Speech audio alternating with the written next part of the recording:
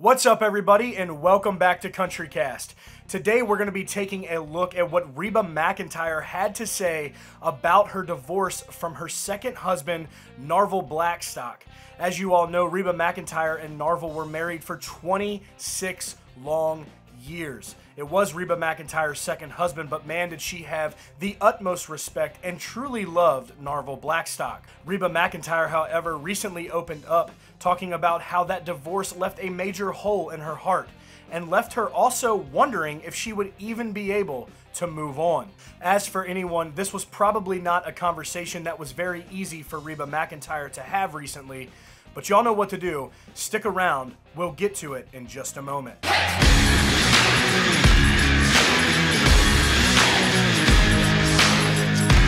And as always, just real quick, before we get started with today's video, make sure you head on over to our socials, Facebook, Instagram, and Twitter to give us a like and a follow. Our Facebook is CountryCast, our Instagram is CountryCast News, and our Twitter is at CountryCast News. Of course, if you are new here or if you've slid by the YouTube show before and just haven't had that opportunity yet to hit the subscribe button down below, please go ahead and do so. And remember to turn on those notifications and hit that like button as well so you never miss out on any breaking updates on your favorite country artist and all the news coming right out of Music City. All right, so going ahead and getting right into what we have for you today. And it's about Reba McEntire and her divorce from her longtime husband of 26 years, Narvel Blackstock. Even though these two divorced in the year of 2015, I can imagine that it is still hard for Reba McEntire to really reflect back on that time in her life because it was truly an emotional roller coaster and she had a lot to deal with and even getting back into the music business. There was a lot going on there. And recently, Reba McEntire was strong enough to reopen up those details and have a chat about it on her podcast titled Living and Learning with Reba McEntire. And when you guys hear what Reba McEntire had to say, you will see just how strong of a person she truly is. But there is no doubt that the reflection of this time in her life is truly difficult. Here is what Reba McEntire had to say when it all went down. She said, I think forging your own path, that's your choice. The divorce was not my choice. I did not want it at all. So it was left up to me. Okay, kid, how you gonna handle this?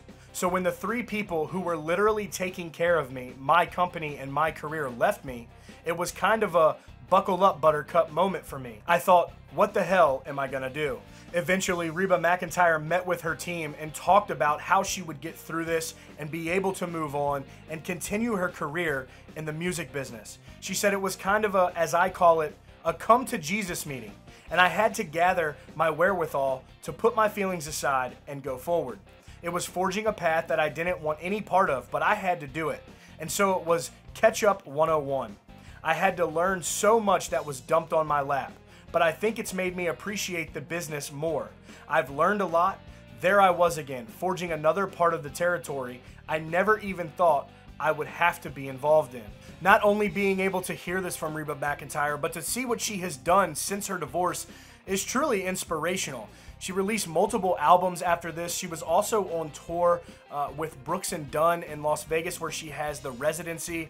She's been highly involved in the music business even after all of this transpired. She was able to work through it and still make her big achievements happen to this day. And she's been in the music game for a very long time and uh, has been a big part of country music. And for her to be able to put those emotions aside and really look forward into the future and continue building on a career that was already not just successful but legendary to begin with is something truly inspiring to look at. And if for some reason any of you out there have not heard Reba's most recent album, Stronger Than the Truth, please do yourself a favor and visit any digital platform where you can take a listen uh, to that wonderful, wonderful record. That will be it for today's video. Make sure you hit that subscribe button down below. Turn those notifications on so you don't miss out on any breaking updates on your favorite country artist and all the news coming right out of Music City. Y'all stay country.